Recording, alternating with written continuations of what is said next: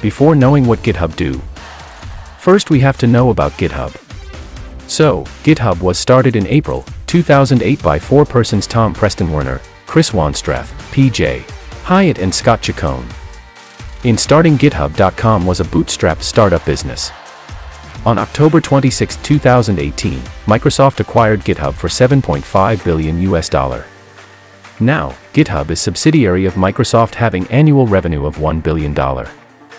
GitHub Incorporated is a platform and cloud-based service for software development and version control using Git, allowing developers to store and manage their code. It provides the distributed version control of Git plus access control, bug tracking, software feature requests, task management, continuous integration, and wikis for every project. Whole GitHub site is written in Ruby, JavaScript, Go, C and Rust. It is commonly used to host open source software development projects.